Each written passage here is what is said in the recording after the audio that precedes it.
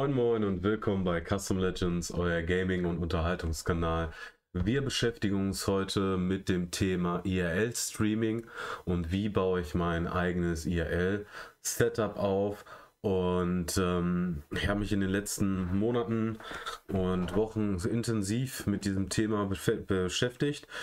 Ähm, ich hatte einige Bedingungen an dieses Setup, da ja ähm, in der letzten Zeit bei immer mehr Menschen das Bedürfnis nach IRL-Streaming besteht, ähm, habe ich mir gedacht, mache ich ein kleines äh, oder ein etwas intensiveres äh, Guide dazu. Das ist kein Tutorial, das ist nur ein Guide, ähm, wo euch alles mal näher gebracht wird. Ein Tutorial würde den Rahmen absolut sprengen. Das wäre viel zu viel.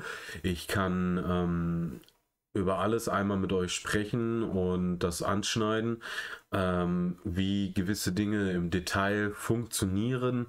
Da könnt ihr euch äh, bei sehr, sehr guten Tutorials, die auf YouTube existieren, schon schlau machen oder einfach auf unseren Discord-Server kommen für weitere Fragen. Ich stehe euch sehr, sehr gerne für alle eure Fragen zur Seite und helfe euch sehr, sehr gerne, dieses Setup zu verstehen und aufzubauen. Also, wir, ähm, also ich hatte einige Bedingungen an dieses Setup und zwar, ähm, mir ging es dabei ähm, um Folgendes. Ich wollte ein Setup haben, das nicht irgendwie mit dem Handy auf einfachste Weise funktioniert. Wenn ihr irgendwie ein Setup sucht, wo ihr auf günstigste Art und Weise äh, mit eurem Handy auf einfachste Art und Weise streamen könnt, IRL-Streaming machen könnt, dann findet ihr sehr viele Tutorials dazu, ähm, wie ihr das mit gewissen Apps wie mit Twitch selber oder anderen Apps, so wie Stream Elements oder äh, Streamlabs machen könnt. Und ähm, damit werde ich mich nicht beschäftigen, weil für mich kommt das absolut überhaupt nicht in Frage aufgrund gewisser Qualitätsmängel. Wenn ihr mit dem Handy streamt, werdet ihr immer mit RTMP streamen. Das bedeutet, dass wenn ähm, ihr eine schlechte Internetverbindung habt, dann werdet ihr kein flüssiges Bild haben. Das wird verpixelt dargestellt, ähm, weil halt einfach die Bitrate, mit der das mit der Bild und Ton übertragen wird, nicht hoch genug sind. Und unter anderem ist das Protokoll RTMP nicht fürs IRL-Streaming geeignet. Mit RTMP könnt ihr ähm, YouTube-Videos gucken oder andere Sachen, das ist äh, da in dem Falle in Ordnung. Aber ähm, IRL-Streaming, das ist Katastrophe. Weil, ähm, ohne das jetzt groß zu erklären, ähm, bei RTMP, bei dem Streaming-Protokoll, ist es einfach so, dass die Latenz, die Zeit, die die Geräte brauchen, um miteinander zu kommunizieren, viel zu hoch ist und deswegen das meistens eigentlich gar nicht gegeben ist, dass ihr ein flüssiges Bild habt, das nicht verpixelt dargestellt wird. Wenn ihr euch in Bewegung befindet, wenn ihr eine wechselnde Bitrate habt und dementsprechend diese Bitrate auch mal in einen Bereich fällt, wo es zu niedrig ist, und es nicht ausreicht, dass Bild und Ton vollständig übertragen werden können. Wenn ihr euch an einem Standort befindet, wo ihr beispielsweise in einem Café euch hinsetzt und einen Hotspot habt und da einfach die Kamera anmacht, dann mag das mit dem Handy vielleicht wunderbar funktionieren, mag auch ein stabiles Bild geben. Wenn ihr jetzt aber mit dem Fahrrad im Wald unterwegs seid, dann wird das Ganze nicht funktionieren. Ähm, und ähm, da große IRL-Streamer einen Vorteil haben, den wir uns alle nicht leisten können, war meine Bedingung einfach an dieses IRL-Streaming-Setup, dass es dieselben Qualitätsmerkmale hat wie die großen Profi-Streamer. Dass man in bester Qualität streamen kann. Und was machen die großen Profi-Streamer? Wie streamen die großen Profi-Streamer? Ich zeige euch das. Also, die großen Profi-Streamer, die holen sich ein Gerät, das nennt sich LiveView Solo. Dieses Gerät, das kann mehrere Dinge. Also unter anderem ist es mit diesem Gerät möglich, von überall aus zu streamen. Von überall aus. Überall auf der Welt. Dieses Gerät macht mehrere Dinge. Äh, und zwar unter anderem macht es äh, LRT, nutzt das LRT. Das ist ein Protokoll, womit mehrere Internetverbindungen zusammengebunden werden zu einer starken Internetverbindung. Wie ihr das hier auf diesem Bild schon sehen könnt, sind hier zum Beispiel zwei Verbindungen über LTE, eine über WLAN und eine über Ethernet gewählt worden und diese werden dann zusammengebunden zu einer starken Verbindung. Hier sind zwei USB-Modems an dem Gerät angeschlossen und wo da liegen SIM-Karten drin. Und mit diesen zwei SIM-Karten kann das Gerät sich ins Internet einwählen und mit einer WLAN-Verbindung, das heißt, wenn ihr irgendwo eine Hotspot-Verbindung habt von einem Café oder von einem irgendeinem anderen auffälligen Punkt oder irgendwo ins WLAN-Netzwerk rein könnt, dann kann das zudem noch die dritte Verbindung dazu nehmen und es kann, wenn ihr die Möglichkeit beispielsweise habt, auswärts und äh, ihr seid an einem Standort, wo ihr ein Ethernet-Kabel verbinden könnt, könnt ihr euch da mit einem Kabel verbinden und habt durch diese verschiedene Art und Weise äh, die Möglichkeit, die, eure Daten übers Internet zu übertragen. Das Gerät gibt es in drei Ausfertigungen. Ihr könnt es kaufen mit vier möglichen Internetschnittstellen oder mit sechs möglichen Internetschnittstellen. Und das Gerät kostet kriegt ihr ab 830 Euro. Wenn ihr das Gerät jetzt woanders kauft, ähm, zum Beispiel auf Amazon, dann liegt das schon Ganze bei 970 Euro. Das Gerät kostet an sich ein Taui, kann man so sagen. Dieses Gerät kann dann eure Kamera, die ihr da per HDMI angeschlossen habt, ihr seht, dass ihr hier einen HDMI-Ausgang habt und da könnt ihr jede HDMI-Kamera einfach direkt an das Gerät anschließen und damit dann euren Stream ins Internet übertragen und machen. So, jetzt ist es so, dass ihr ja diese, dieses Gerät ja nicht einzeln nur so verwenden könnt. Ihr müsst für dieses Protokoll, für dieses LRT hier, müsst ihr eine jährliche Gebühr bezahlen.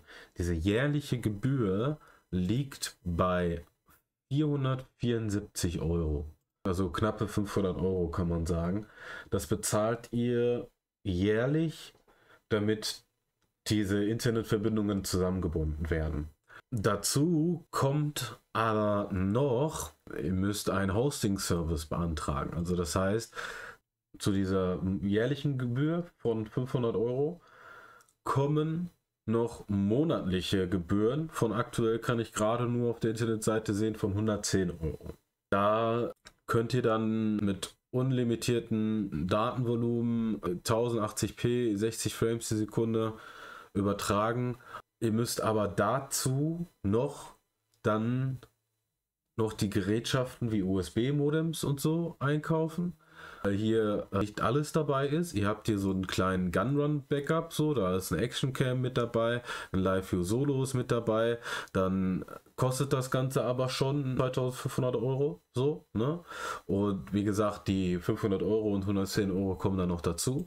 Und ihr müsstet euch noch eine SIM-Karte äh, äh bei wenn ihr zum Beispiel einfach mal so zu den teuersten drei in Deutschland hingeht, bei Telekom würdet ihr 85 Euro im Monat bezahlen, bei Vodafone 80 Euro und bei O2 würdet ihr ganze 60 Euro im Monat bezahlen, damit ihr ein unbegrenztes Datenvolumen habt. Und beispielsweise, wenn ihr schon zwei gleichzeitig bucht, dann ja, das sind Kosten, die übersteigen eigentlich jegliches Niveau und jegliche Vernunft, um für hier für irgendwie, äh, sage ich mal, ähm, ins Livestreaming zu gehen. Die meisten Menschen wird das so nicht in Frage kommen. Und viele suchen nach einer äh, günstigeren Lösung, die aber auch eine gute Qualität liefert. Und da kommt einfach Folgendes im Spiel.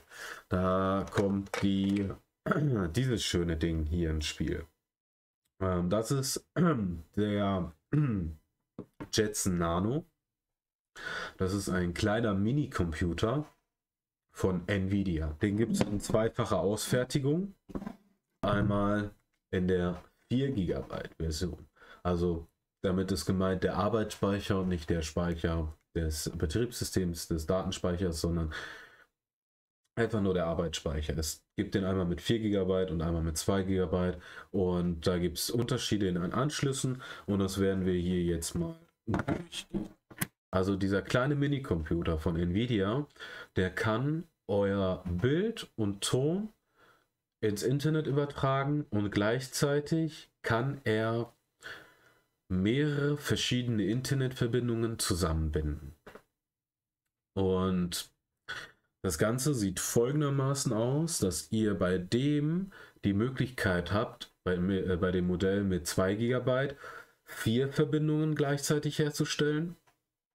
Und bei dem Modell mit 4 GB könnt ihr fünf Verbindungen gleichzeitig herstellen. Bei dem Modell mit 4 GB sage ich euch ganz deutlich, ist es sehr schwer, das Ding mit Strom zu betreiben. Ihr braucht eine sehr starke qualitative Powerbank. Ihr braucht ein sehr gutes, dickadriges Kabel, damit ähm, die Voltzahl stabil geliefert werden kann. Und ihr braucht eventuell auch, wenn ihr keine Powerbank finden könnt, mit der das so funktioniert oder nicht bereit seid, eine zu teure Powerbank zu kaufen, einen PD-Trigger, damit das, der Jetson Nano mit genug Strom beliefert werden kann. Äh, in meinen Testungen habe ich das herausgefunden. Es war ein bisschen schwierig, das herauszufinden. Also ich bin nicht der Erfinder dieser Box. Der Erfinder dieser Box nennt diese Box Bela Box und ähm, der hat ein eigenes Betriebssystem für den Jetson Nano auf Linux basiert geschrieben, was nur für die zuständigen Aufgaben da ist, das Bild dementsprechend ins Internet zu übertragen und diese Internetverbindungen zusammenzubinden. Ich habe mich in den letzten Wochen mit dem Tutorial des Stellers äh, befasst und auch einige Mängel feststellen müssen leider. Ähm, es ist ein bisschen schwierig, das Tutorial, was er auf YouTube veröffentlicht hat, äh, zu verstehen, weil er sehr krass am Nuscheln ist und äh, auch ein bisschen am Lispeln. Ähm, das, äh, also jetzt No Front, das soll kein, kein Vorwurf gegen ihn sein, aber äh, es ist halt sehr, sehr schwer für jemanden, der nicht englischsprachig ist, sein Tutorial zu verstehen. Ich konnte eigentlich nur, indem ich den Untertitel angemacht habe, wirklich verstehen, was er sagt. Er zeigt dann nicht so wirklich Details, womit ich dann mich, mich ein bisschen mehr befasst habe und weswegen ich auch dieses Guide gemacht habe. Das 2 GB Modell, das äh, zeige ich euch einmal hier. Ähm, das hat, wie ihr sehen könnt, ein USB-C-Anschluss. So. Und das wird damit mit Power betrieben und das funktioniert auch problemlos und ihr werdet hiermit keine Probleme haben, das in irgendeiner Form mit Strom zu betreiben, da äh, sowieso das Ganze über die, also ich habe hier ein Gehäuse für den Jetson Nano gewählt, welches ein bisschen größer ist, damit eine, ein USB-Hub in dem Gehäuse mit untergebracht werden kann. Ich wollte es nicht, dass das so ist, dass dieses blaue USB-Hub, was ihr jetzt hier seitlich sehen könnt, was ihr hier so sehen könnt, ich wollte nicht, dass dieses äh, Hub außerhalb des äh, Gehäuses noch mit absteht. Und dass wenn man das jetzt im Rucksack dran hat, dass dieses hat noch weiter mit dann und da noch etliches Gedöns dran, das, das stört mich. Ich möchte das Ganze in einer kleinen, kompakten Box haben, so klein und schmal wie möglich, weil ich muss das Ganze ja im Rucksack mitnehmen. Und ähm, das Ganze soll auch noch belüftet sein. Und dafür ist dieser Lüfter zuständig, ähm, der wirklich Overkill ist, äh, gerade im Rucksack, also wirklich neat. Also ohne ge den geht eigentlich gar nicht. Wie ihr hier sehen könnt, packt das Kabel mal ein bisschen zur Seite, habt ihr hier einen Ethernet-Anschluss. Und damit könnt ihr, wenn ihr irgendwo fest an einem Standort seid, direkt ein Ethernet-Kabel anschließen und den Jetson Nano so dem Internet verbinden. Dann gibt es hier noch zwei USB 2.0 Anschlüsse. In einem davon ist das USB-Hub angeschlossen und der eine ist frei, weil ich den nicht brauche. Und dann haben wir hier noch einen USB 3.0 Anschluss. Ich habe hier ein kleines Kabel, das über Eck geht, genommen, um das nach innen zu verlegen und so auf diese Seite zu legen, weil ich hier, wie ihr das jetzt sehen könnt, äh, dann die Elgato Camlink mit USB 3.0 verbinde. Ich habe meine Elgato Camlink gerade mit einem anderen Modell, da werde ich euch das gleich zeigen, wie das aussieht. Denn ich wollte auch nicht, dass die Elgato Camlink hier auch nochmal absteht. Ich wollte ganz einfach hier ein HDMI-Kabel reinstecken, hier meine USB-Modems reinstecken und gut soll das Ganze auch sein. Das größere Modell, das 4 GB Modell, zeige euch das. Hier habe ich dann natürlich auch das USB-Hub an der Seite angeschlossen und mit ins Gehäuse verbaut. Das 4 GB Modell hat aber auch noch hier, wie ihr sehen könnt, ich zeige euch das auch noch mal so, zwei riesige WLAN-Antennen da dran. Und äh, hier ist eine PCI Express Karte. Das kann man nicht sehen. Also das äh, kann ich euch hier mal zeigen. Und zwar hier ist, ist zwischen diesen beiden dickeren Platten äh, hinter der SD-Karte, die ihr hier vorne sehen könnt, ist eine PCI Express WLAN-Karte. Da gehen zwei Kabel von ab zu diesen Antennen und ich könnte theoretisch größere, kleinere Antennen anschließen. Das wäre kein Problem. Ich kann die hier vorne abdrehen und ähm, habe hier hinten dann die Elgato Camlink verbaut ins Gehäuse, wie ihr sehen könnt. Die ist hier einfach an der Seite und äh, damit kann ich dann hier einfach ein HDMI-Kabel anstecken. Und so wie ihr sehen könnt, hat der das 4 GB Modell keinen USB-C-Anschluss, sondern nur einen Power-Jack-Anschluss. Dieser Power-Jack-Anschluss, das ist ein Anschluss, der ist 5,5 mm breit und 2,1 mm tief und ähm, es ist sehr, sehr, sehr schwierig, dieses Modell mit Strom zu betreiben. Ähm, ich werde euch nachher Kabel verlinken, mit der das möglich ist. Ich musste sehr, sehr, sehr lange suchen, sehr viel herumexperimentieren und in allen Foren, einschließlich der Foren, die sich eigentlich dafür ausgewiesen hatten, äh, da helfen zu können, wurde, konnte auch keine klare Antwort darauf irgendwie gebildet werden, äh, was ich irgendwie ein bisschen schade finde, weil da haben sich wohl mehrere Leute mehrere Jahre äh, auch befasst mit und irgendwie wollen die da keine klare Antwort geben. Ich denke mir da, ähm, so wie ich da jetzt, mir das jetzt begegnet ist, ähm, ist das in den Foren absolut kindisch. Und ähm, deswegen, ja, hatte ich mich auch entschlossen, da selber so ein kleines Guide zu, zu machen. Und wie ihr sehen könnt, haben wir hier ein paar mehr USB-Eingänge. Wir haben insgesamt vier 3.0 USB-Eingänge. An einem habe ich meinen Hub angeschlossen. Äh, zwei sind frei und an dem anderen habe ich hier meine Elgato Camlink angeschlossen über das Kabel, das nach innen verläuft und hier dann wieder an der Seite meine Elgato Camlink dann äh, anschließbar ist.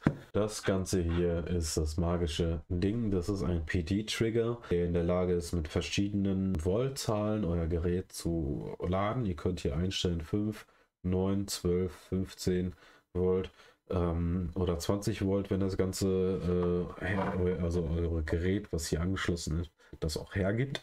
Und ähm, ihr könnt mit zwei Wegen ähm, hier Strom zuführen, indem ihr per USB-C ein Kabel anschließt. Ihr habt ja einen weiblichen USB-C-Anschluss oder indem ihr äh, es mit USB-C direkt an das Endgerät anschließt, an eine Powerbank oder äh, an einen Wall Charger, je nachdem.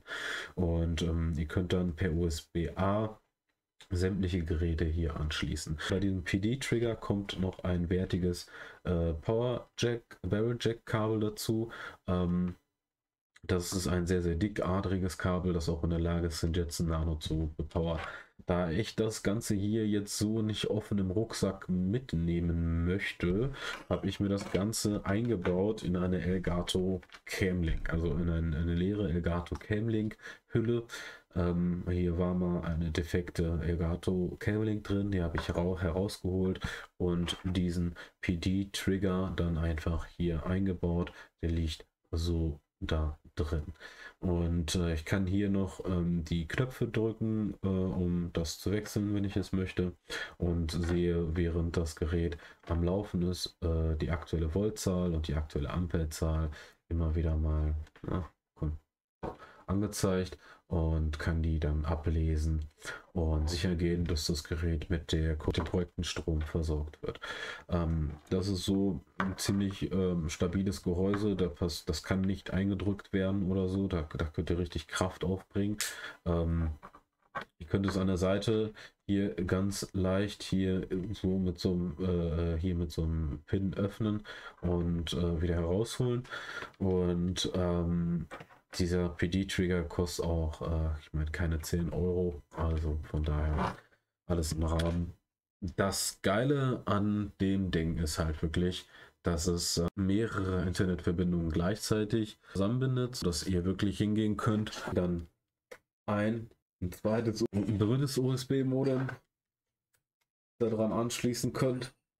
Und dann könnt ihr sehen, habt ihr einfach in einer kleinen, kompakten Box. Jetzt könnt ihr, wenn ihr wollt, hier noch Verlängerungskabeln anschließen. Ähm, aber auf diese Art und Weise ist, ist das ist die kompakteste Art und Weise, so ein Live-View Solo zu ersetzen mit einem Jetson Nano. Und ähm, ich würde mal fast behaupten, das Ding ist besser als das Live View Solo, weil es unter anderem fünf Verbindungen ins Internet zusammenbinden kann und das anstatt für einen Preis von, sage ich mal, ein Taui für das Gerät alleine, von den anderen Kosten wollen wir gar nicht erst anfangen, dass, dass, dass sie astronomisch hoch sind, das ist klar. Jetzt ein Nano kostet eigentlich nur 140 Euro in der 4 GB Version und in der 2 GB Version eigentlich nur 70 Euro. Aber aufgrund von Chipmangel und aufgrund von Problemen mit den Chips gibt es zurzeit die Jetson Nano nur in überhöhten äh, Preisen und ähm, da zahlt ihr für das 2 GB Modell schon 200 Euro neu auf Amazon. So sieht das Ganze aus und ähm, aber es ist trotzdem allemal günstiger mit den 200 Euro als dieses Live-View Solo-Gerät. Vor allen Dingen müsst ihr hierfür keine jährlichen Wartungsgebühren bezahlen von 500 Euro circa und auch keine 110 Euro für ein Streaming-Hosting-Service. Ähm, was ihr hier bezahlen müsst momentan ist 10 Euro im Monat für den Bela Box Cloud Service. Der Ersteller dieser Box ähm, macht es momentan so, dass er einen abhängig macht von einem Zahlungsabonnement von 10 Euro im Monat. Und äh, man diese Box nutzen kann, ähm, muss man da äh, auf se seiner GitHub-Seite ein Abo abschließen und das kann man monatlich kündigen, aber man muss es halt monatlich zahlen und sonst kann man diesen Service nicht nutzen. Und äh, diese Funktionsweise, ich habe aber gehört, von Leuten in Foren, dass es wohl möglich ist, sich selber irgendwie so einen SRTL, ich habe da keine Ahnung von, Server aufzubauen und ähm, so dass man diese 10 Euro Cloud-Gebühr da für seinen Service nicht bezahlen muss und dass man diese Box auch äh, ohne diese 10 Euro bezahlen äh, benutzen kann. Ähm, ich kenne mich da aber äh, nicht in der Form aus und äh, hatte bisher noch nicht die Zeit, mich in, darüber schlau zu machen, weil das ist nun mal auch ein großes Thema für sich. Und falls da sich gerade jemand, der dieses Video sieht, mit auskennt ähm, und mir da ein paar Tipps geben kann, der möge sich gerne, gerne bei mir melden. Was kann diese Box noch besonders?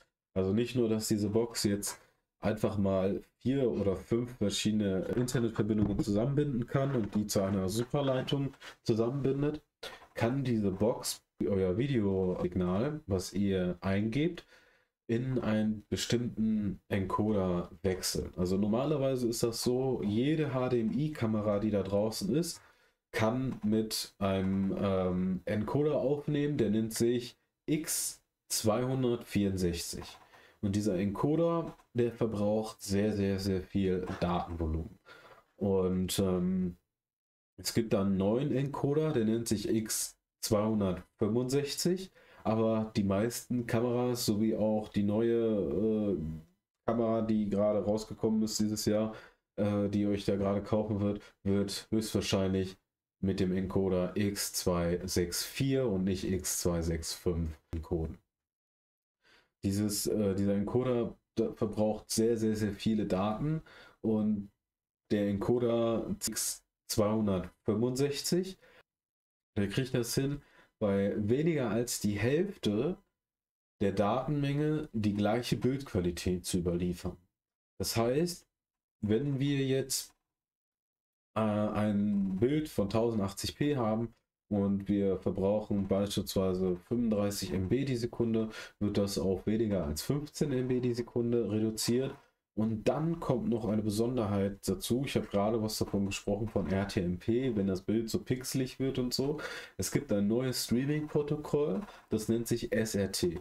Und dieses Protokoll, das kriegt es viel, viel besser hin, Bild- und Audiomaterial schneller zu übertragen und hat durch die Art und Weise, wie das aufgebaut ist, einen viel, viel besseren Ping und kann viel, viel schneller zwischen den Geräten hin und her kommunizieren.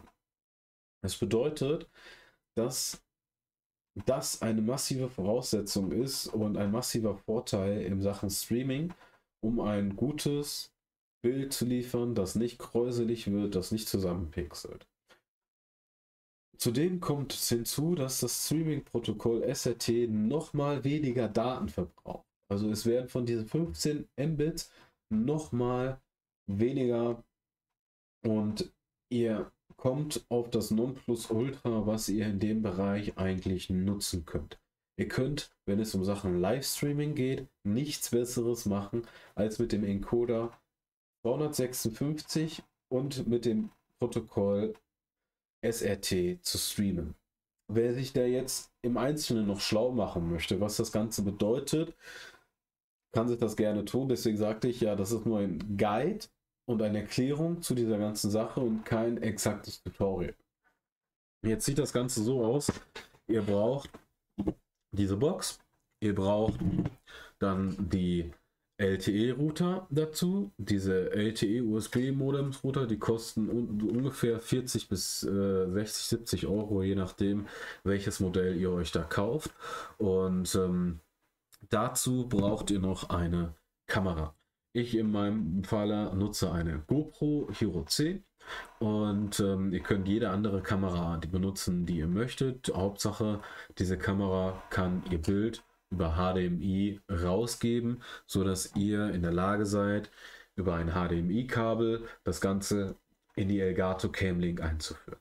Das Ganze sieht so aus, wenn ihr die Bela-Box gestartet habt und das Betriebssystem auf der Bela-Box installiert habt, dann könnt ihr die Bela-Box über die über den Cloud-Service, über den Remote-Service erreichen. Das heißt, ihr meldet euch einfach nur über den Cloud-Service an, tragt dann da bestimmte Daten. Es gibt hier zwei Keys, die eingetragen werden, ein und schon könnt ihr das von überall aus, von eurem Handy, von eurem Desktop aus steuern. Ihr braucht wirklich nur die Internetadresse von der Bilderbox Cloud eingeben, euch mit eurem Account-Daten anmelden und schon könnt ihr dann unter Bilderbox Remotes auf eure Bilderbox zugreifen.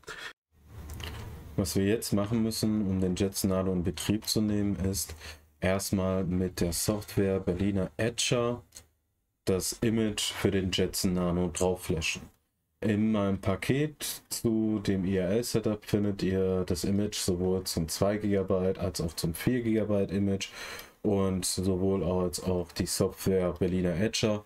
Die könnt ihr dann einfach auf eurem PC installieren und wenn ihr das Ganze dann installiert habt, könnt ihr in Berliner Etcher dann ganz einfach auswählen, auf welchem, äh, äh, auf welchem Device ihr das installieren möchtet. Da wählt ihr einfach die SD-Karte aus. Das muss mindestens nur eine 4 GB SD-Karte sein. Ähm, kann auch eine 32 GB sein, je nachdem, was ihr da übrig habt. Wenn ihr das dann ausgewählt habt, dann könnt ihr dann das Image auswählen. Ihr müsst dann hier auf Select drücken und jetzt könnt ihr auf hier vom Flash vom File drücken. Dann sucht ihr auf eurem PC euer Custom Legends Streaming Setup Pack und dort findet ihr dann das Image, wählt das dann aus und könnt dann hier auf Flash drücken. Dann startet der Flash-Vorgang und das Image wird auf die SD-Karte geschrieben. Ihr müsst die Meldung, die ihr bekommt, mit Ja bestätigen. Danach startet ein Verifizierungsprozess, wo äh, kontrolliert wird, ob eure SD-Karte, ob das Image alles korrekt äh, draufgeschrieben worden ist. Und ob das alles vernünftig ist. Wenn das Ganze abgeschlossen ist, könnt ihr eure SD-Karte auch schon in den Jetson Nano stecken. Damit ihr jetzt auf euren Jetson Nano zugreifen könnt, müsst ihr auf euren Router zugreifen. Ihr müsst, je nachdem, was ihr da machen müsst, äh, die, äh, die Seite eures Routers öffnen und dann auf ähm, die Seite gehen, wo die aktuellen Geräte, die angeschlossen sind, in ihrem Netzwerk gelistet worden sind. Und dann beobachten, okay, welche Geräte, welche IP-Adressen sind das? Und dann steckt ihr den Jetson Nano an den Strom mit einer LAN-Verbindung. Steckt ihr den Jetson Nano ganz einfach in euren Router und schaltet ihn ein. Wenn ihr den eingeschaltet habt, dann wird der Jetson Nano hier in dieser Liste auftauchen. Und wenn ihr die IP-Adresse für euren Jetson Nano habt, dann könnt ihr diese IP-Adresse ganz einfach, hier unten ist die IP-Adresse jetzt aufgetaucht, kopieren und in der Adresszeile eures Browsers eingeben. Wenn ihr dann die Adresse hier eingegeben habt, erscheint dann die Belabox Clouds, äh, die Belabox äh, äh, UI und hier bei dem Benutzerinterface könnt ihr dann, wenn ihr das erste Mal hier seid, ein Passwort vergeben. Ich rate euch, sucht euch da ein vernünftiges Passwort aus, das ihr euch auch immer merken könnt. Und wenn ihr das Passwort dann vergeben habt, könnt ihr euch bei der Belabox anmelden.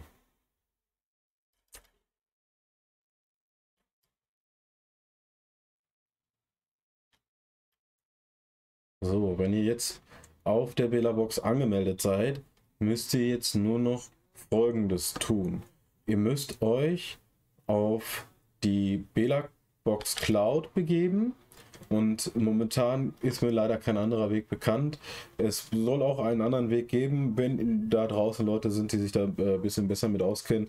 Bitte, äh, und wenn ihr euch da äh, einen Weg kennt, könnt ihr das mir gerne posten. Ähm, ich werde das Ganze dann versuchen einzubinden.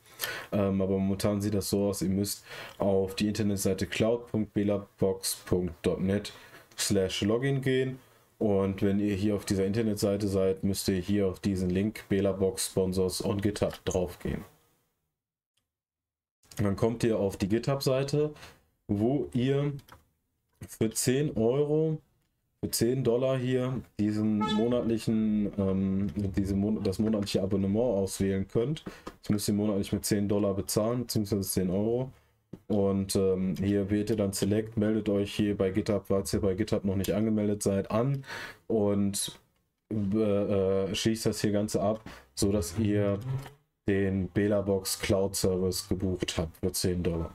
Wenn das Ganze dann fertig ist, könnt ihr dann hier auf Login and Register with GitHub draufklicken. Und hier dann ganz einfach, wenn ihr ähm, hier angemeldet seid, könnt ihr dann sehen, dass äh, euer äh, Sponsoring-Status, dass das freigeschaltet ist, dass ihr den Box Cloud Service nutzen könnt und den SAT-LA Relay, Service auch nutzen könnt. So, wenn das Ganze erledigt ist und ihr euch in der Box Cloud angemeldet habt, müsst ihr jetzt noch eure Box mit der Box Cloud verbinden. Das macht ihr mit der Box Remote. Dafür müsst ihr dann Ganz einfach auf Belabox Remote hier oben links, äh, hier oben in der Mitte klicken und dann seht ihr schon hier äh, Belabox Remotes und hier geht ihr dann einfach auf Add, um eine Belabox Remote hinzuzufügen. Dadurch erstellt ihr dann einen Remote Key, den ihr hier dann gleich kopieren könnt, aber wir müssen zuvor noch einen SRT Relay erstellen. Dann gehen wir hier oben auf SAT Relays, klicken hier drauf und klicken dann hier unten links auf Add und fügen ein SAT Relay hinzu. Jetzt, wo wir beides erstellt haben, kopieren wir, gehen wir zurück zur Box Remote und kopieren den Remote Key für die Box. Wenn wir den kopiert haben, greifen wir auf die Box wieder zu und gehen dann hier runter auf System und fügen dann den Belabox Cloud Remote Key hier ein und klicken dann auf Save, um das Ganze abzuspeichern. Dasselbe machen wir jetzt jetzt sehen wir hier, äh, mit der, dass die Belabox Cloud connected ist. Dasselbe machen wir jetzt mit dem SAT Relay.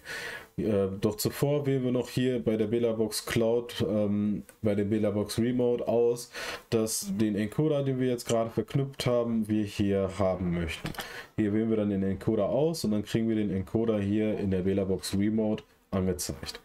Jetzt können wir hier einfach von überall aus auf die Belabox äh, zugreifen über die Belabox Cloud.net.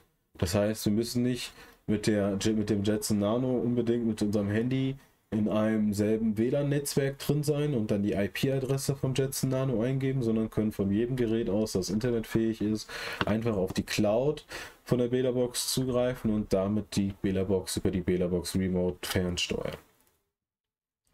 Jetzt gehen wir auf SAT Relays und kopieren den ähm, Link, den wir, äh, den Key, den wir hier äh, erstellt haben gerade. Wir können auch für unseren SRT Relay, den wir ausgewählt haben, einen Server auswählen. Wenn ihr in Europa seid, dann ist wahrscheinlich Frankreich der nächste Server für euch. Und ähm, jetzt braucht ihr nur noch die Adresse hier kopieren. Die wählt ihr dann aus. Kopiert die äh, Adresse, geht dann zurück auf die Bela-Box Remote, geht dann auf SAT LA Settings, fügt hier die Adresse wieder ein. Dann geht ihr auf den Port 5000, kopiert die Nummer 5000, gebt den Port hier ein, dann geht ihr hoch zu eurem Key und kopiert euren Key und fügt den dann auf eurer Bela-Box beim SRT Stream Key ein. Ihr geht hier einfach auf SRT Stream It, fügt den Key hier ein und schon war es das Ganze und ihr habt das Ganze eingestellt. Jetzt gibt es noch weitere Feineinstellungen, die ihr machen könnt, um das Ganze korrekt einzustellen. Ähm, ihr müsst das Ganze ja auch noch in eurem OBS einbinden. Und dafür geht ihr dann auf das SRT Relay, äh, scrollt hier runter, dann seht ihr den Eintrag SRT Watch Settings Summary und hier seht ihr dann den Eintrag OBS Source URL und hier kopiert ihr den Link für OBS. Wenn ihr dann in OBS seid, könnt ihr dann einfach äh, in der Szene, in der ihr dann das Bild haben möchtet, einfach ähm, ein weiteres Element für die Szene hinzufügen. Und hier geht ihr dann einfach auf Media Source hinzufügen wählt dann einen Namen dafür aus, beispielsweise Stream. Ich habe das in meinem Fall als GoPro benannt und geht, geht dann auf OK und macht den Haken bei lokales, lokale Datei weg und ähm, dann fügt ihr den Link hier bei Input ein, kontrolliert noch, dass der Haken bei Restart Playback ausgeschaltet ist und gebt den Link dann hier ein. Ihr könnt hier noch den Reconnect Delay einstellen, das müsst ihr selber für euch mal äh, rausdefinieren, was da für euch wichtig ist, was da ungefähr passt. Und schon war es das Ganze schon und schon habt ihr schon die Beta-Box in eurem OBS eingebunden. Wenn noch keine Kamera in eurer Beta-Box vorhanden ist, dann ähm, wird nur ein schwarzes Bild übertragen und wenn ihr die, ähm, nee, äh, die äh, äh, ähm, Bitrate, die modulare Bitrate freigeschaltet habt, dann seht ihr auch hier oben einen schwarzen Eintrag, womit ihr, äh, einen weißen Eintrag mit äh, Daten, womit ihr sehen könnt, dass die Bella-Box online ist, weil wenn ihr keine Kamera angeschlossen habt, seht ihr normalerweise nur ein schwarzes Bild. Und wenn ihr dann einstellt, auf der Bela-Box Cloud, dass ihr den äh, modularen Bitrate, dass das angezeigt wird, äh, dann könnt ihr hier äh, durch diese Textzeile sehen, dass auf jeden Fall der Encoder schon mal online ist und sicher gehen, dass äh, vielleicht irgendwo anders das Problem dann ist. Bei dieser modularen Anzeige könnt ihr aber auch ausstellen, dass diese Zahlen angezeigt werden. Also je nachdem, wie ihr das möchtet, könnt ihr das dann einstellen. Hier bekommt ihr dann mehrere Daten angezeigt. Unter anderem ist jetzt meine, mein 4 GB Modell mit WLAN angeschlossen und zeigt mir an, ich habe eine WLAN-Verbindung. Und wenn ich jetzt ein Ethernet-Kabel nehmen würde und das jetzt an der WLAN-Box anschließen würde, dann würde der innerhalb von kürzester Zeit diese Verbindung erkennen und dazu addieren. Da warten wir jetzt einen kleinen Moment, bis das Ganze geschehen ist.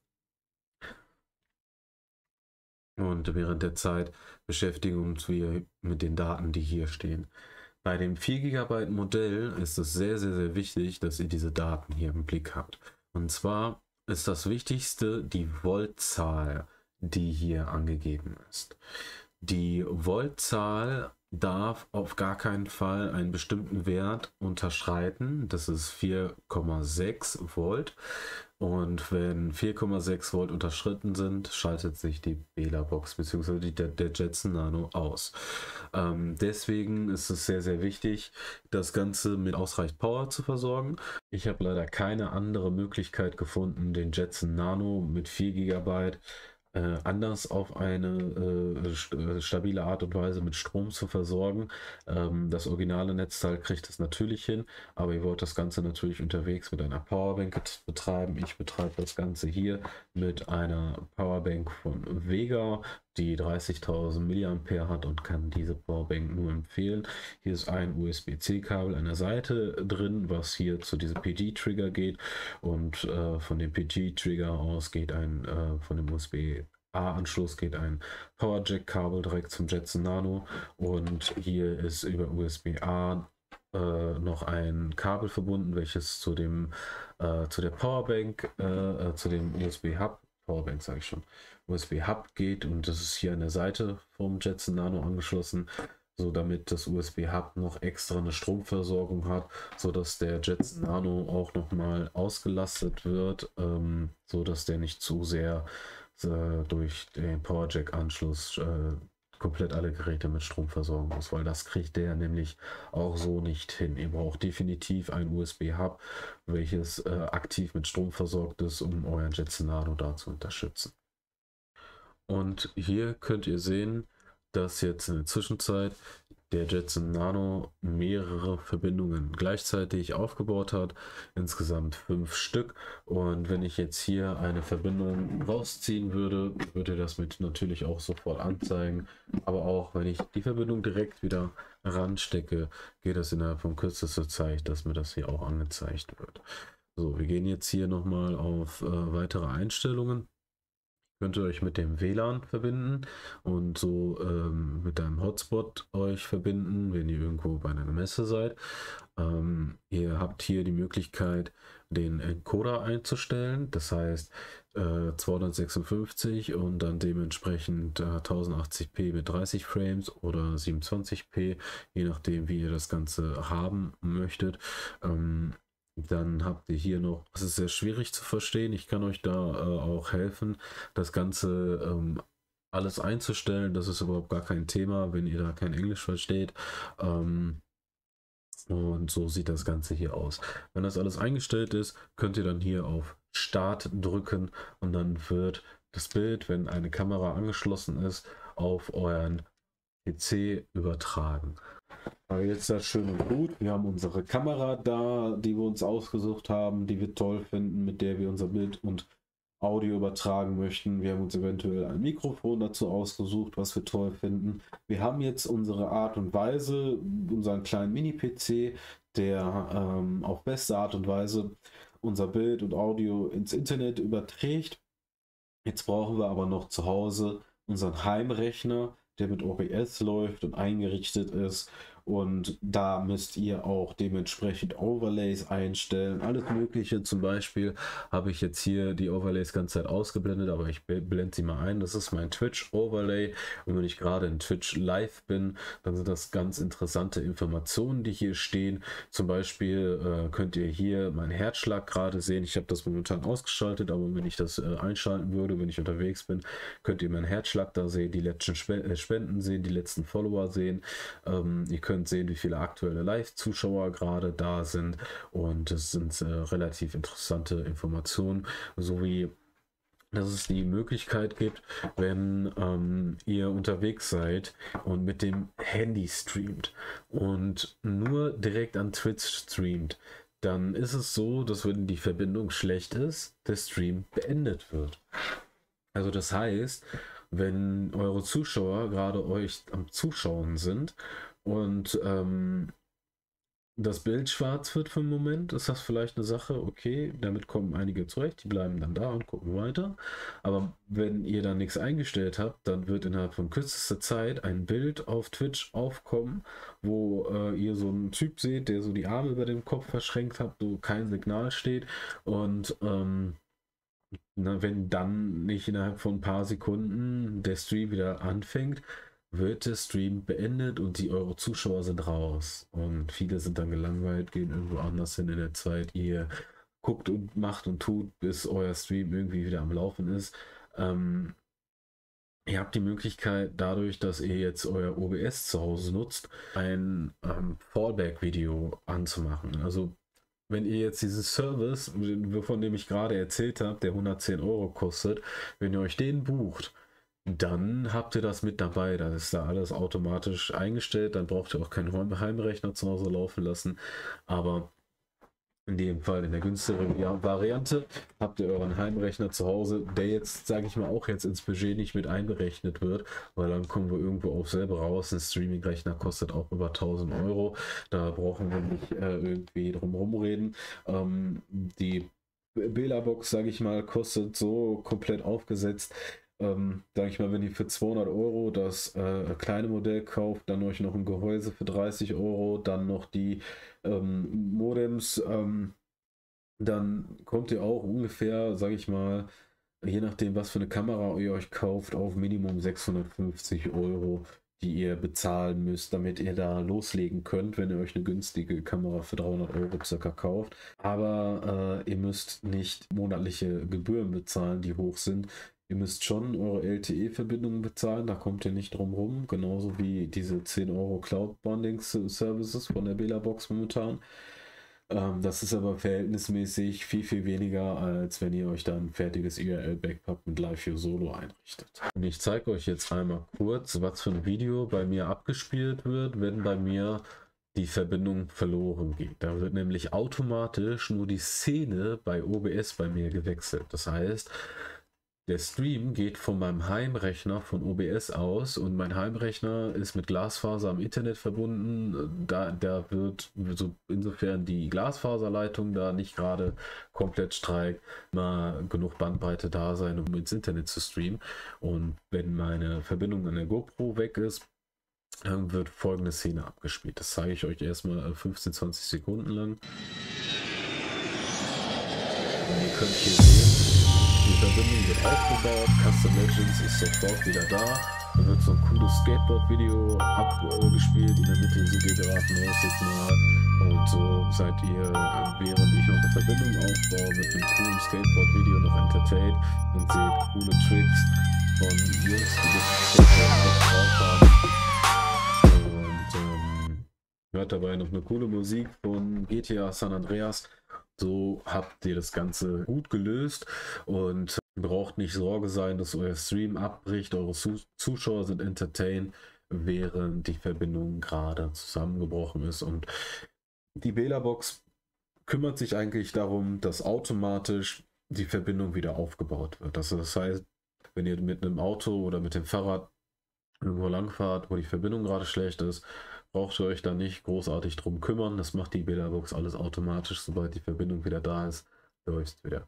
Aber ich würde euch empfehlen, den Stream irgendwie im Blick zu haben, dass ihr das monitoren könnt, dass ihr wisst, was gerade abgeht, weil auch die Bela-Box kann abscheißen. Es kann auch gerade mal sein, dass ihr die Bela-Box einmal komplett neu starten müsst, weil manchmal gibt es Error zwischen der Elgato Cabling und der Bela-Box und da hilft es wirklich nur, den Strom komplett wegzunehmen, zu warten, bis der Strom äh, aus der Elgato Cabling raus ist und dann äh, wieder die Bela-Box mit Strom zu befeuern.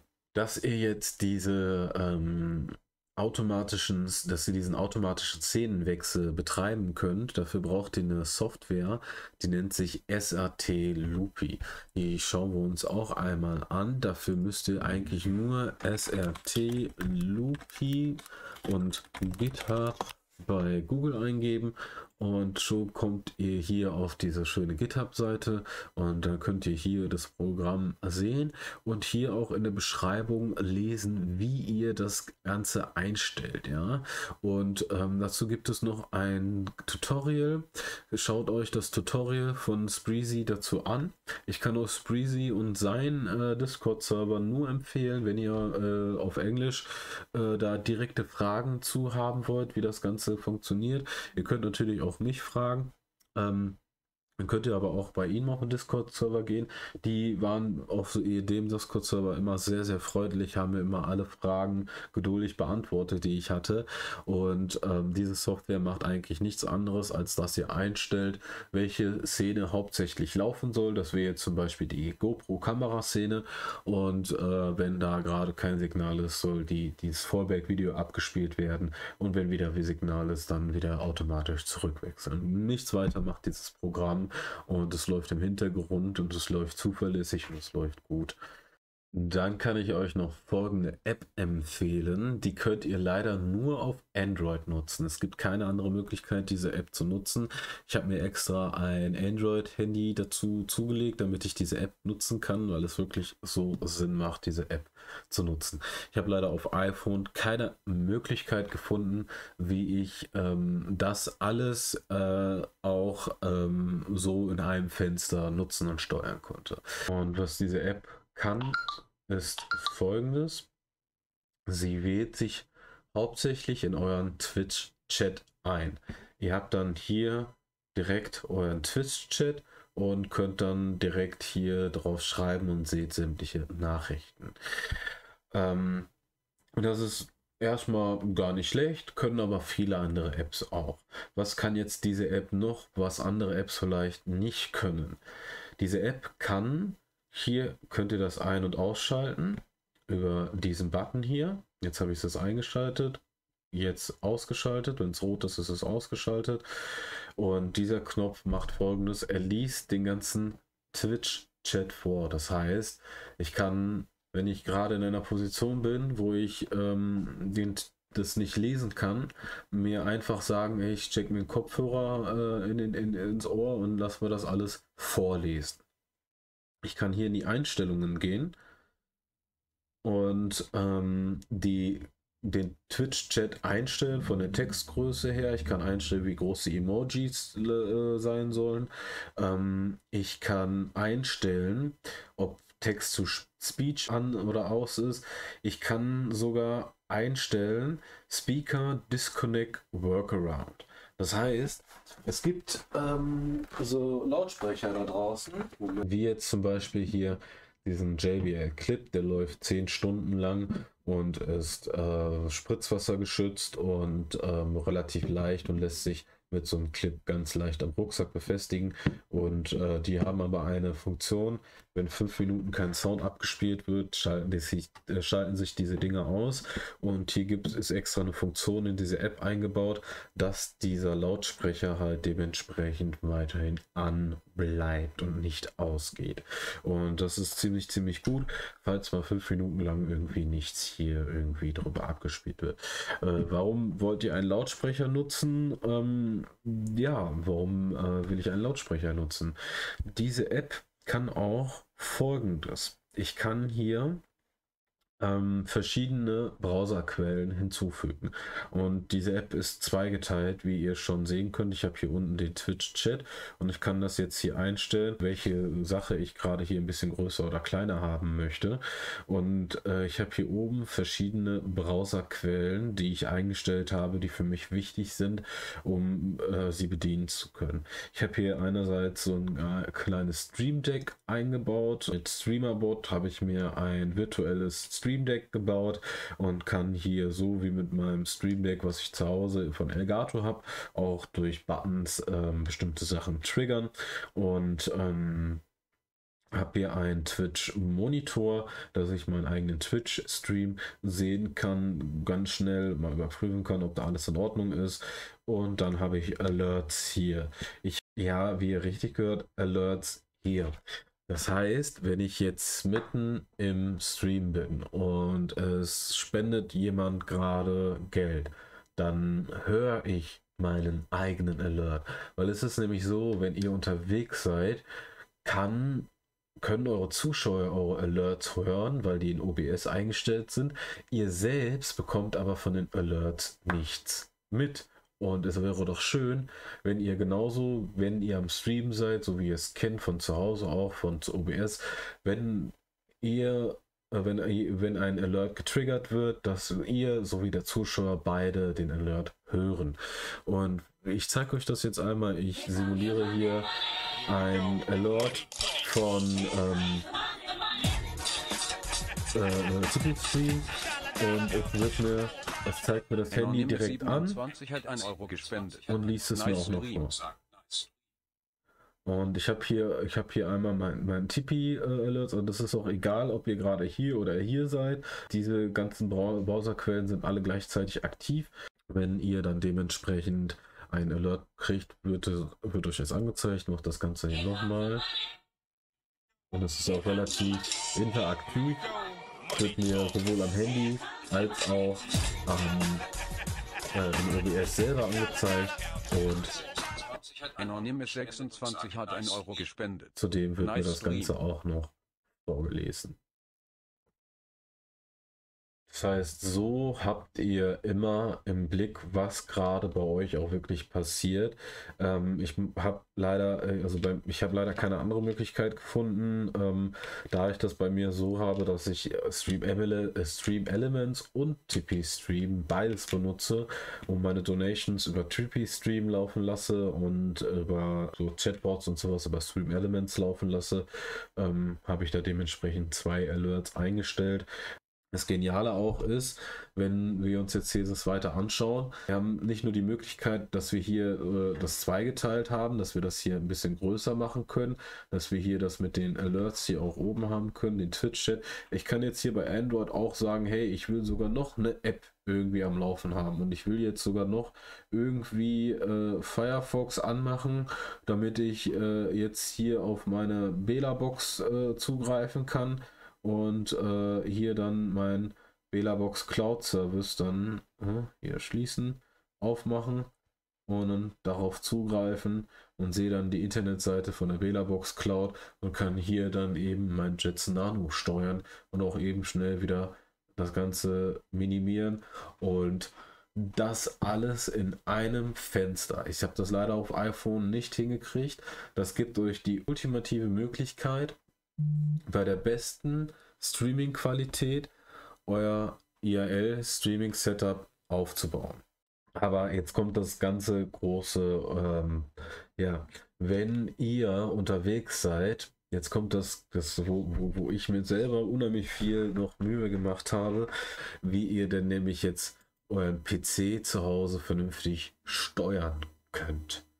Und ähm, ja, ähm, Viele haben da rumgedruckt, hatten da keine richtige Lösung und ähm, ich wollte eine Lösung haben, wo man in der Lage ist, seinen kompletten PC richtig zu steuern und OBS natürlich richtig zu steuern. Dass ich nicht nur darauf angewiesen bin, über SRT Loopy zu sagen, hey, ähm, ich habe eine oder die andere Szene und wechsle da jetzt hin und her und sonst gar nichts, sondern ich möchte komplett frei jede einzelne Szene, die ich bei OBS eingestellt habe, ansteuern können. Ich möchte jedes Programm, was ich am Rechner gerade ha laufen habe, äh, aus- und einschalten können. Ich möchte OBS starten können, OBS äh, ähm, den Stream starten können, je nachdem.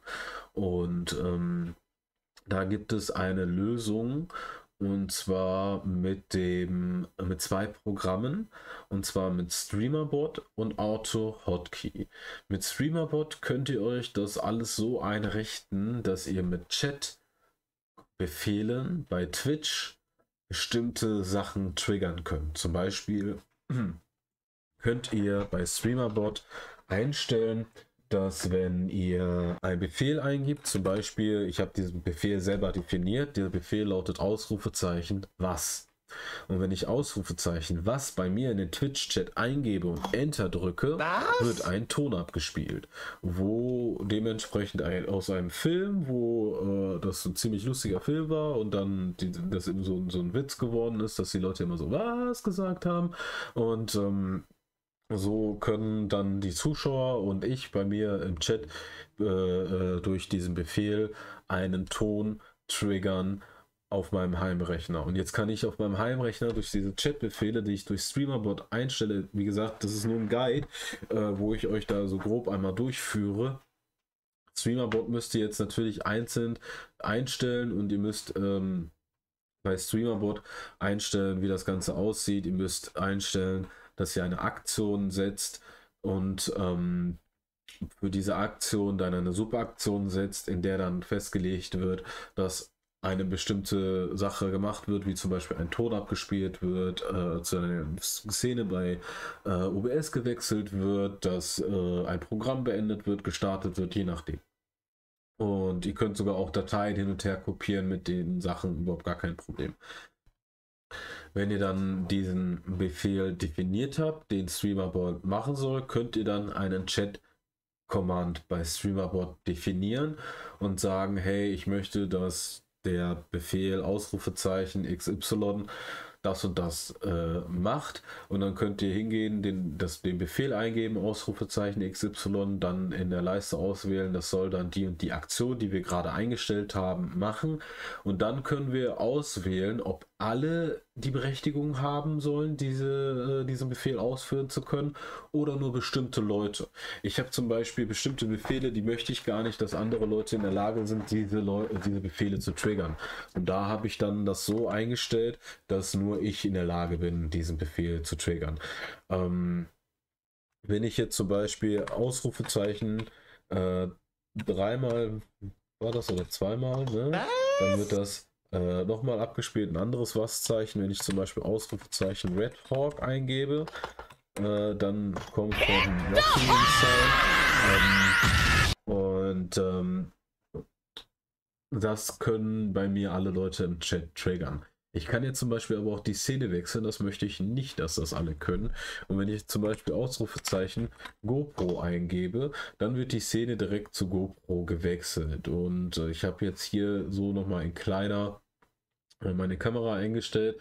Und äh, hier hinter wäre jetzt zum Beispiel meine GoPro und ähm, die habe ich jetzt gerade nicht eingeschaltet.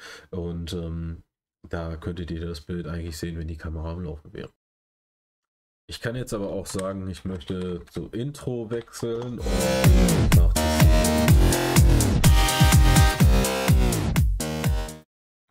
und das kann ich alles mit Chat-Befehlen triggern. Also das heißt, ich habe das jetzt gerade in meiner Tastatur eingegeben, weil es für mich ein bisschen einfacher ist. Aber wenn ich on the fly unterwegs bin, also ich laufe gerade irgendwo unterwegs, dann kann ich einfach hier in meinen Chat reingehen mein Chat öffnen und meine Tastatur hier eintippen, zum Beispiel Ausrufezeichen äh, L R O O M und dann kommt der Sound von Law von One Piece Loom und äh, ich kann auch zum Beispiel äh, Ausrufezeichen eingeben. Na komm schon. Wenn man da das Handy so liegen hat, ist das ein bisschen komisch. Ausrufezeichen. Shambles.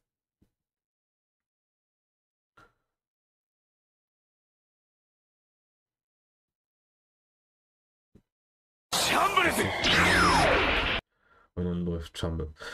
wenn ich die Befehle bei mir in meiner, in meiner Chat-Tastatur hier einmal schon mal eingegeben habe und hier Ausrufezeichen eingebe, dann kommen alle Befehle hier, dann kann ich die schneller auswählen und relativ schnell triggern, wenn ich in einer Stream-Session gerade drin bin. Ähm, das Schöne daran ist, ich kann auch hier komplett Programme starten und beenden. Das Problem dabei ist, das wird jetzt ein bisschen kompliziert, weil ähm, ihr könnt hingehen und ähm, in Streamerbot einstellen, dass anstatt eines bestimmten Tones ein bestimmter Hotkey getriggert wird. Da könnt ihr sagen, hey, wenn ich jetzt Ausrufezeichen äh, GoPro oder äh, wenn ich jetzt sage Ausrufezeichen Kill OBS. Das OBS, das Programm hat sich gerade aufgehangen und ich möchte, dass OBS beendet wird. Dann muss ich Ausrufezeichen Kill OBS in den Chat eingeben. Das triggert dann beim Streamer-Bot, dass ich eingestellt habe, dass ein bestimmter Hotkey auf meiner Tastatur gedrückt wird.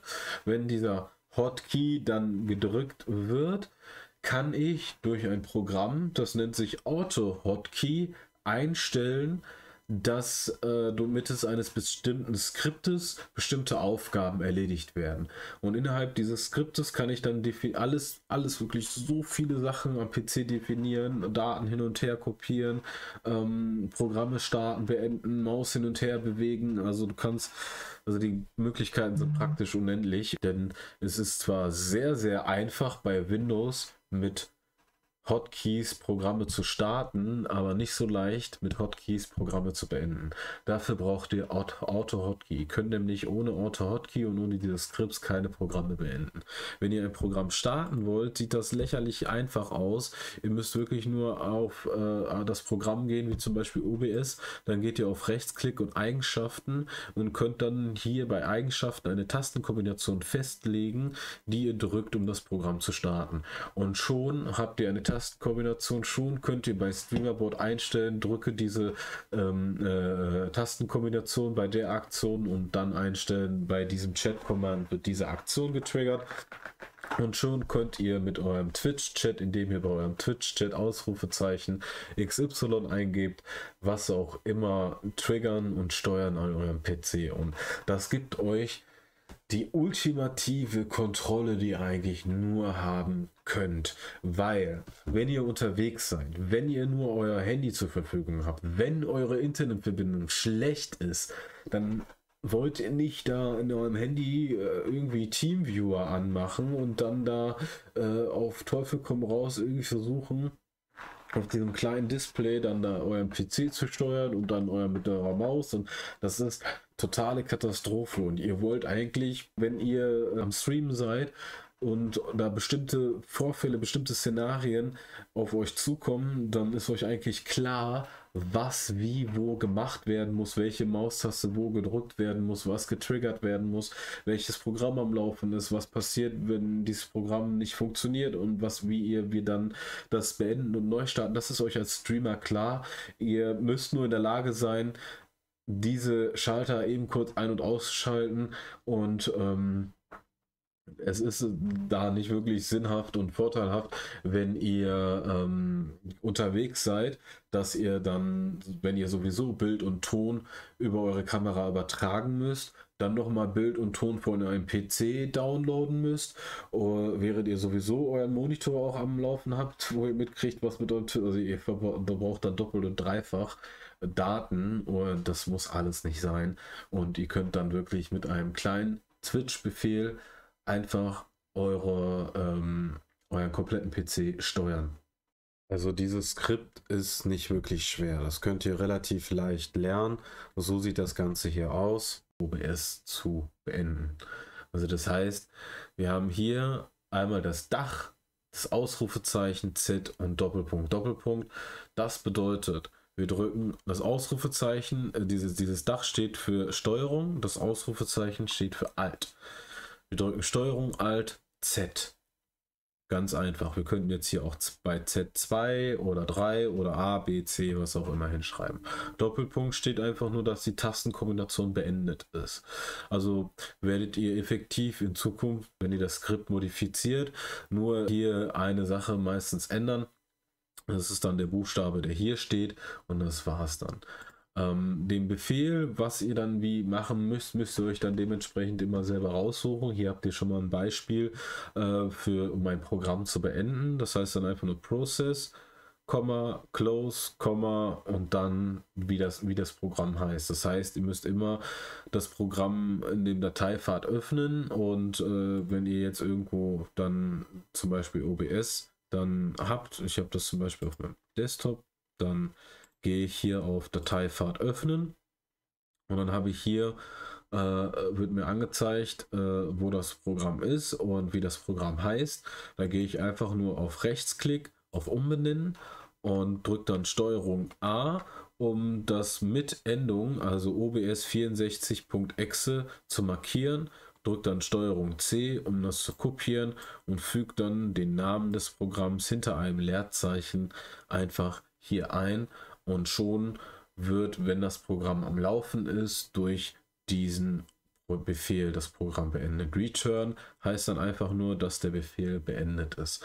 Das Ganze wird dann einfach nur abgespeichert und das ist ein Auto-Hotkey-Skript, keine normale Textdatei, sondern ein Auto-Hotkey-Skript. Ähm, ich habe hier ähm, auf meinem, ähm, zeige ich das einmal kurz. Ähm, ich habe hier ein paar Auto-Hot-Scripts, äh, Auto-Hot-Scripts, Auto-Hotkey-Scripts angelegt. Und äh, ich mache euch das mal ein bisschen größer. So. Und ich habe jetzt hier 1, 2, 3, 4, 5, 6, 7, 8 äh, Skripts angelegt. Und ähm, da kommt immer mal wieder was dazu. Immer mal, also wieder hat man mal eine Idee, was man da irgendwie machen könnte. Damit ihr dann diese Auto-Hotkey-Scripts starten könnt, müssen die Scripts in dem Auto-Start-Ordner von eurem Windows liegen. Das heißt, lokalisiert den Autostart-Ordner. Am besten packt ihr euch den in den Schnellzugriff rein und packt dann den Skript, wenn er fertig ist, einfach hier rein. Genauso wie Auto-Hotkey, dass Auto-Hotkey direkt bei Systemstart gestartet wird und ähm, startet Auto-Hotkey auch als Administrator und schaltet auch die Windows Administratorabfrage aus. Ihr müsst diese Sicherheitsabfrage ausschalten, weil sonst kann AutoHotkey nicht als Administrator starten, weil jedes Mal diese Abfrage kommt und dann können die Auto-Hotkeys nämlich nicht ausgeführt werden bei Systemstart. Und ihr wollt ja, wenn euer System hochfährt, dass direkt diese Befehle verfügbar sind und ihr euer System aus der Ferne fernsteuern könnt. Ich zeige euch jetzt einige Befehle, die ich jetzt für mich so äh, rauskristallisiert habe, erstmal am Anfang. So, und das sind die Befehle, die sich bei mir jetzt schon mal herauskristallisiert haben. Das ist schon einige dazugekommen und es dauert schon ganz schön lange, die Befehle alle aufzusetzen und einzustellen. Also ich habe einen Befehl, da mein OBS irgendwie buggy ist, defekt, keine Ahnung, mein WinCapture Audio funktioniert nicht richtig und ich muss es jedes Mal neu installieren, damit mein WinCapture Audio vernünftig die Audioquellen aus den jeweiligen Audioquellen, die ich eingestellt habe, beispielsweise äh, die jeweiligen Programme wie Discord oder Opera oder wie auch immer, ähm, wird der Ton halt nicht vernünftig übertragen und deswegen muss ich WinCapture Audio jedes Mal neu installieren und dafür habe ich mir einen Befehl zurechtgelegt, der nennt sich Ausrufezeichen WinAu. Äh, das mir, fällt mir gerade auf, muss klein geschrieben werden, nicht groß. Und ähm, dann werden halt einfach nur die Daten für WinCapture Audio von A nach B kopiert und das macht Auto-Hotkey-Script Auto Auto-Hotkey-Script völlig automatisch, nur mit dem Befehl winau. Ähm, mit SRT Loopy starte ich SRT Loopy, wenn ich das brauche, um meine Szene automatisch wechseln zu lassen. Mit Ausrufezeichen OBS starte ich OBS, mit Ausrufezeichen Kill OBS beende ich OBS und mit Ausrufezeichen Kill SRT Loopy beende ich SRT Loopy. Mit Ausrufezeichen Start Stream kann ich den Stream starten, mit Ausrufezeichen End Stream kann ich den Stream beenden, mit Ausrufezeichen Start Record, also Rec kann ich eine Aufnahme starten, mit Stop Rec kann ich die Aufnahme beenden. Also Ausrufezeichen werde ich jetzt nicht nochmal immer wieder wiederholen. Mit Cam SW kann ich die Kamera wechseln, die ich zu Hause habe. Ich habe hier zum Beispiel auf meinem Steam Deck eine Taste, damit ich meine Kamera wechseln kann. Und ähm, genau diese Taste, dass ich die Kamera wechseln kann, kann ich dann mit Cam SW triggern. Und ähm, um zum Beispiel, wenn ich unterwegs bin, von, von unterwegs aus zu gucken mit meinen Kameras, äh, ob alles in Ordnung ist könnte ich ja die Kameras auf mehrere Positionen stellen und dann dementsprechend durchwechseln. Ähm, auf äh, Countdown kann ich äh, zur Countdown-Szene wechseln, auf Intro zur Intro-Szene, auf Outro zur Outro-Szene, auf Leer zu Leer, weil manchmal will ich ja auch, dass eventuell vielleicht, was während ich beim IRL-Streaming unterwegs bin, ich habe mir eigentlich dazu gedacht, ähm, da äh, eine Toilettenszene eigentlich zu machen, weil ich will ja auch, während, ich im EA-Streaming bin, auf die Toilette gehen und ähm, ja, möchte da natürlich nicht, dass mein Mikrofon oder die Kamera dann in dem Moment gezeigt werden. Vielleicht müsste ich dann nochmal eine Szene für Toilette machen und das dann irgendwie so eine witzige Szene, die gezeigt wird, erstellen. Ähm, ansonsten kann ich mich auch dafür entscheiden, die Szene Leere zu wählen, wo dann halt dementsprechend kurz einfach gar nichts gezeigt wird. Ähm, gehen wir hier noch mal ein bisschen runter. Dann habe ich noch äh, für Programme, für Snap Camera, um das ein- und zu, äh, auszuschalten, den Befehl Snap und Kill Snap. Für Windows habe ich die Befehl Ausrufezeichen Reboot und Ausrufezeichen Shutdown, um halt einfach meinen PC herunterzufahren oder ähm, neu zu starten. Und die Twitch-Befehle die können eigentlich alle Leute triggern. Die Befehle bis, äh, bis hierhin, die ich jetzt aufgezählt habe, kann nur ich triggern. Und die Twitch-Befehle, die können alle Leute triggern. Das sind halt meistens Sound-Befehle, um irgendwelche Sounds abzuspielen oder halt einen Clip zu erstellen. Da werden nach und nach immer mehr und mehr Befehle dazu kommen. Das ist halt einfach so. Und irgendwann habt ihr so viele Befehle aufgesetzt, dass ihr denkt, oh mein Gott, ich will nie wieder mein PC neu aufsetzen müssen und das alles nochmal neu irgendwie einstellen müssen. Oh mein Gott. so. Das wäre dann mein Streaming-Rucksack, den ich, wo ich dann in Jetson Nano alles untergebracht habe. Das ist schon der neue, der beim Schneider war, der äh, alte, der durchgelutschte. Das ist der hier, den habe ich schon seit über zwölf Jahren gehabt. Das war das alte Modell. Und ähm, da hatte ich dann äh, einfach bei der Tasche gemerkt, das ist, das ist einfach die richtige Tasche, aber die ist halt alt und ausgelutscht und äh, deswegen kommt die weg und die neue Tasche ist dafür da. Und die Tasche ist folgendermaßen aufgebaut. Wie ihr sehen könnt, habt ihr hier vorne schon einen Reißverschluss und eine Lasche. Diese Lasche kann man komplett umklappen und hat dann hier drunter noch eine vernünftige große Tasche, die man aufmachen kann, ein großes Fach. Und hier in diesem großen Fach haben wir noch einen kleinen Reißverschluss. Wir könnten hier ein Handy oder keine Ahnung, irgendwelche Sachen unterbringen, wie wir das halt nützlich finden. Ich habe hier in diesem Fach, das sieht man sogar hier echt kaum, ne, weil das so gut untergebracht ist. Ähm, hier an der Seite mein HDMI-Kabel hier so herum um den Rucksack und das HDMI-Kabel kommt dann hier an der Stelle raus und ich zeige euch das mal nah in die Kamera. Ich habe hier solche ähm, Kopfhörer-Dinger, die habe ich extra aus dem Internet gesucht und beim Schneider einnähen lassen, dass ich hier überall immer meine Kabel vernünftig durchführen kann. Und das kommt jetzt hier aus dem Inneren, das HDMI-Kabel hier raus und geht dann zur Kamera. Und ähm,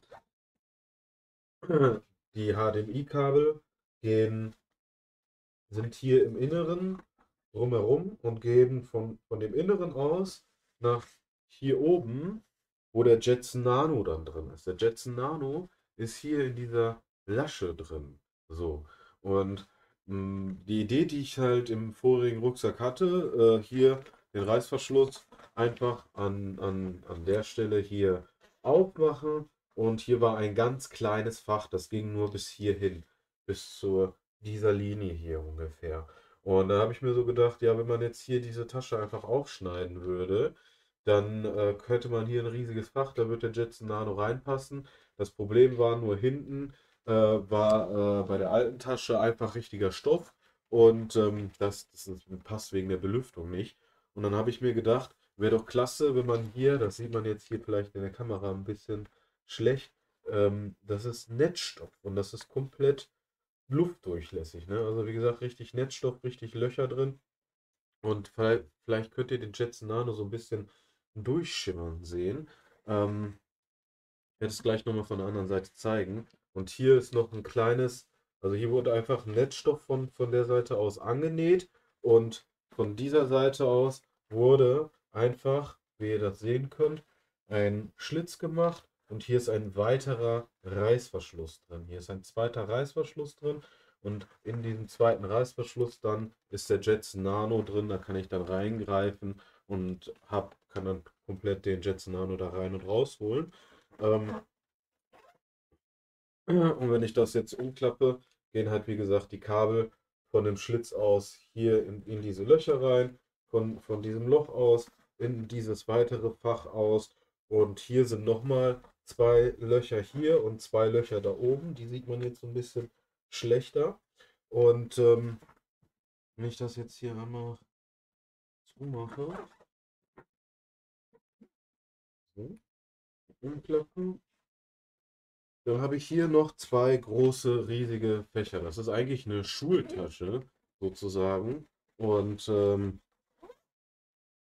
hier hätte ich dann noch richtige große Fächer. Und hier habe ich auch nochmal einen Reißverschluss. Und hier kommen dann in, in diese Tasche vorne, kommen dann, wenn ich unterwegs bin, die Powerbanks rein. Und ähm, hier habe ich dann zum Beispiel auch meinen Router drin, die Gigacube.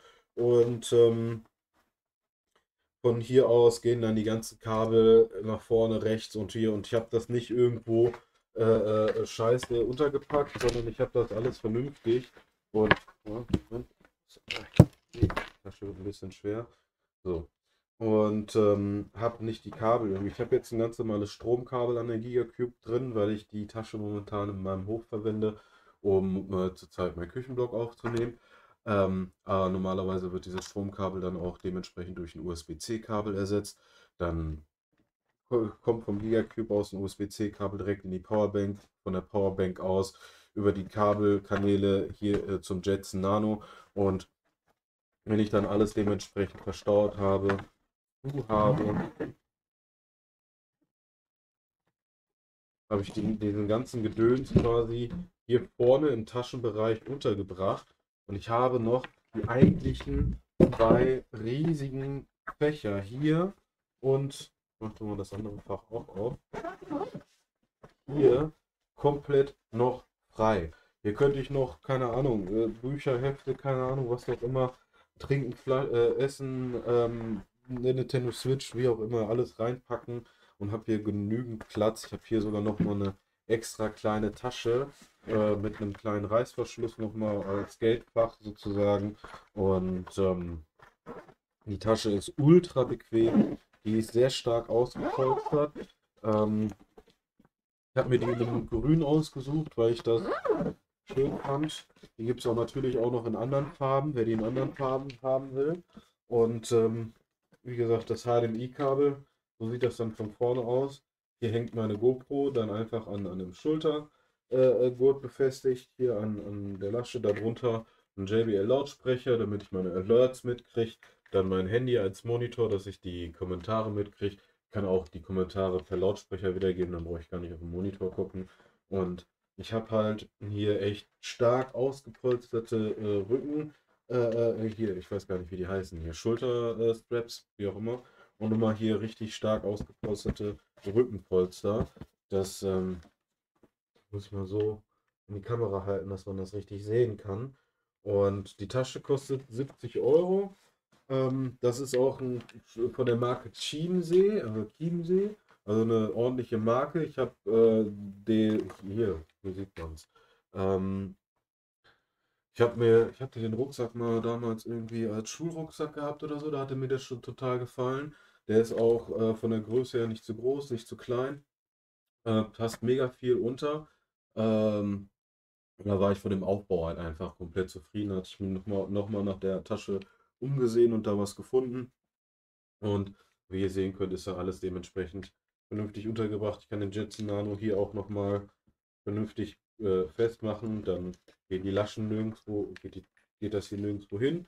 Und das Wichtigste in der Tasche ist, ne, ich habe jetzt natürlich diese Tasche, so wenn sie jetzt zu ist, super safe.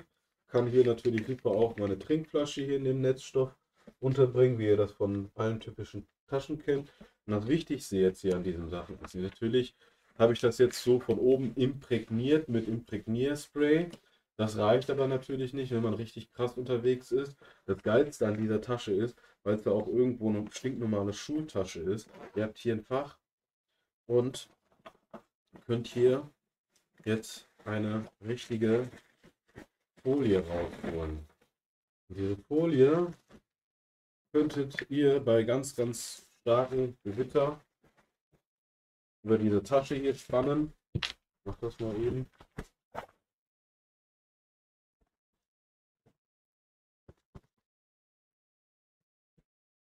So, und dann ist diese Tasche auch bei ganz starken Gewittern geschützt, wenn ihr unterwegs seid. Ne? Kann ja mal immer wieder mal passieren, dass ihr äh, unterwegs seid und dass ein sehr, sehr starkes äh, Gewitter gerade losgeht. Und ähm, da würde normaler, also die meisten IRL-Streamer laufen mit so einem Mesh-Bag rum, also mit so einem Rucksack, der nur aus Netzstoff besteht, wo man komplett reingucken kann. Wenn es da aber anfängt zu regnen, seid ihr ganz schön gearscht. Ne? So könnt ihr zumindest immer noch sagen, hey, äh, je nachdem, ob es warm oder kalt ist. Wenn es kalt ist, dann könnt ihr das, den Jetson Nano auch so, das ist belüftet genug. Das kann hier an den Seiten immer noch die warme Luft raus. So. Und wenn ihr so unterwegs seid, dass die Tasche so, dann da ist da genug Belüftung bei. Ihr könnt dann jederzeit nach dem Regen direkt wieder die, die, äh, äh, den Stoff hier reinpacken und das ist einfach rundherum die Tasche, finde ich, für IRL-Streamer. Da passt genügend rein, dass man genügend unterkriegt und man hat nicht in irgendeiner Weise großartig Probleme. Das ist einfach die ideale Tasche. Die werde ich euch auch nochmal verlinken. Folgende Informationen noch für die, die das jetzt äh, sich interessiert, wie, wie die Kosten hier sich belaufen. Also der Rucksack, der hat 70 Euro gekostet. Dann habe ich den jetzt für insgesamt äh, 75 Euro noch umschneidern lassen. Äh, ganz schön happiger Preis, da war ich selber ein bisschen, hm. aber naja.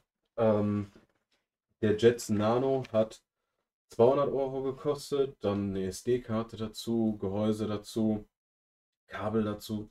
Bist du beim Jetson Nano ungefähr so bei 350 Euro. Dann brauchst du da noch äh, Camlink, der kostet auch nochmal 100 Euro.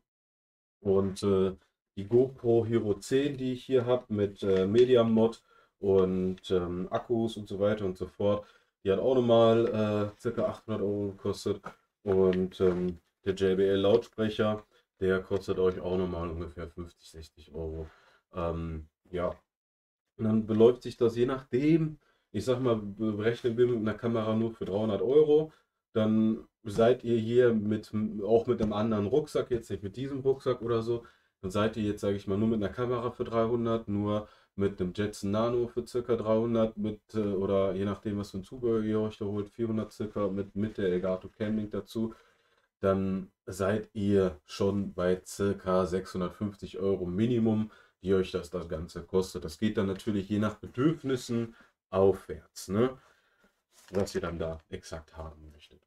Und ähm, so sieht das Ganze aus, so bin ich unterwegs. Und ich wünsche euch viel, viel Erfolg dabei, das Ganze nachzustellen, wenn ihr euch das äh, nachbauen möchtet oder nachstellen möchtet.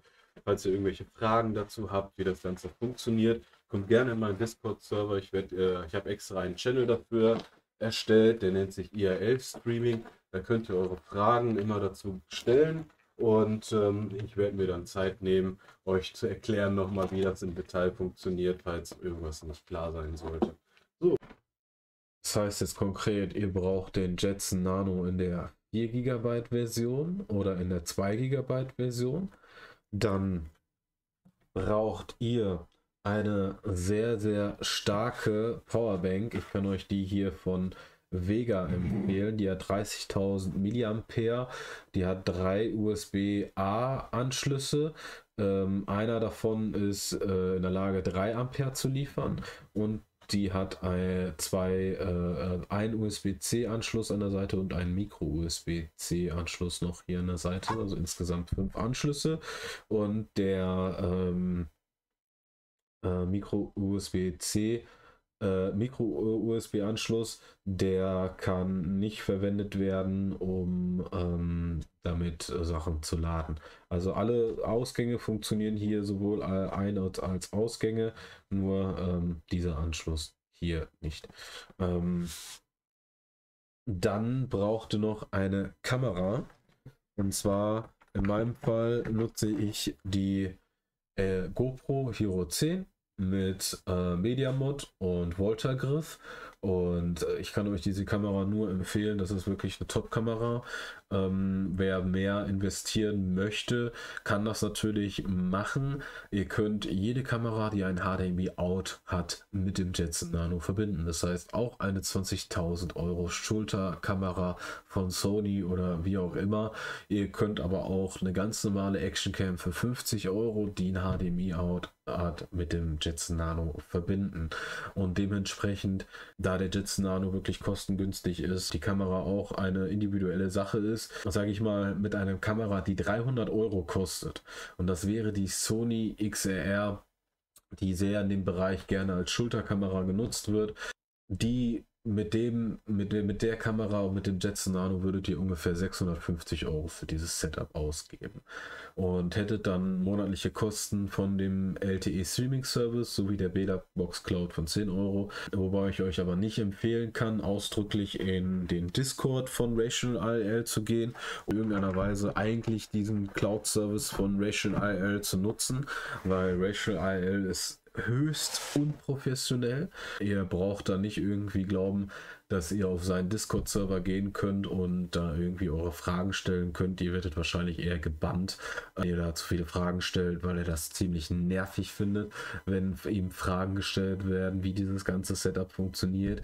Also äh, der ist da ganz schön hochnäsig. Wenn die Sachen nicht so verstanden werden, wie er das in seinem Tutorial erklärt hat, dann hat man sozusagen Pech gehabt.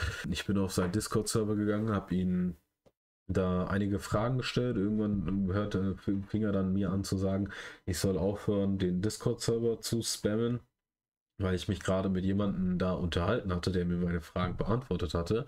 Und einige Zeit später, irgendwie ein paar Tage später, hatte ich dann nochmal eine andere Frage und habe dann aber vorher auch so gesagt, ähm, viel, vielen Dank für das Video Rational IL, was du hochgeladen hast und für alle Informationen, die du so bisher hier so zur Verfügung gestellt hast und alles, finde ich super, alles toll. Äh, ich, ich, bin da echt dankbar für. Ähm, äh, in Germany würden wir sagen Ehrenmann dafür und äh, was macht der? Der äh, liest diese Nachricht und bannt mich dafür aus seinem Discord-Server. So ich bin da nicht in der Lage gewesen, von ihm herauszufinden, wie man den Jetson Nano mit 4 GB korrekt mit Strom betreibt.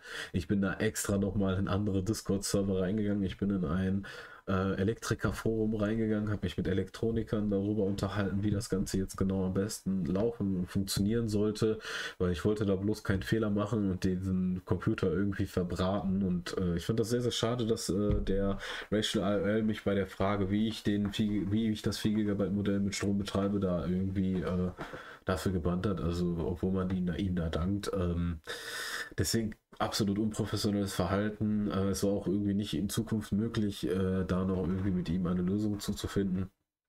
Ähm, deswegen habe ich mich da auch entschieden, da da sehr, sehr viele Leute Fragen zu diesem Setup haben, wie das im Ganzen genau funktioniert, da mal ein kleines Guide zusammenzustellen und auch mal mein Setup, so wie ich das habe, vorzustellen. Und wenn ihr irgendwelche Fragen habt, dann könnt ihr gerne bei meinem Discord-Server vorbeikommen und eure Fragen stellen.